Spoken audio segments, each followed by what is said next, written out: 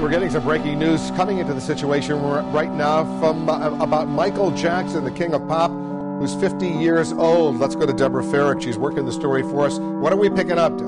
Well, Wolf, here's what we can tell you. This is what's being reported uh, by KTLA. Apparently, Michael Jackson suffered cardiac arrest this afternoon. He was rushed to UCLA Medical Center. At 12:21 this afternoon, the Los Angeles 911 operators took a call in regards to um, a need for a medical emergency.